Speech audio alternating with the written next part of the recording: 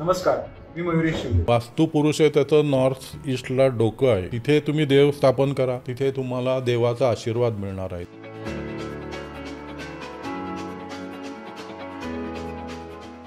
Main तुमची energy कुठून तरी जी निगेटिव्हमध्ये अडकलेली आहे तुमचा जो जमिनीतला ट्रेस आहे तो जसं रक्तात आपलं कसं असतं कुठे ब्लॉक आहे. तो ब्लॉक काढल्याशिवाय तुम्ही बरे होत नाही. तसं ते वास्तूमधला ब्लॉक काढायला काहीतरी तर सोल्युशन पाहिजे. वास्तुशांतीमुळे सगळे ग्रह ठीक होतात. नवग्रहाची पूजा होते. नंतर वास्तूला ती प्रॉपर जागा मिळते. म्हणजे साऊथ ईस्ट कोपऱ्यामध्ये आपण ते वास्तू पुरुष हे पुरतो त्यामध्ये पंचरत्न वगैरे असतात आणि हे वास्तू प्रतिमा असते. त्यामुळे ॲटलिस्ट पाच वर्ष तरी दर पाच वर्षांनी किंवा निदान एक आठ वर्षांनी तरी वास्तू शांत करावी.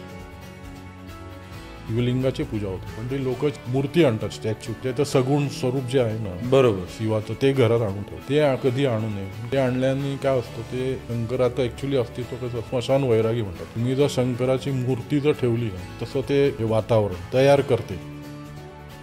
हे ब्रह्मस्थान म्हणजे प्रत्येक जागेचा जो सेंटर असतो त्याला ब्रह्मस्थान म्हणतात. ते जर तुम्ही जड केलं तर मोठा दोष निर्माण होतो. त्यामुळे तो जेवढा ओपन टू स्काय असेल तेवढं चांगलं. एनर्जी सायन्स आहे तुझ्या प्रत्येक एका साईडला ग्रहाचा तो भाग ठेवलेला आहे. आपण ग्रहांची शांती करतो तशी शांत होते.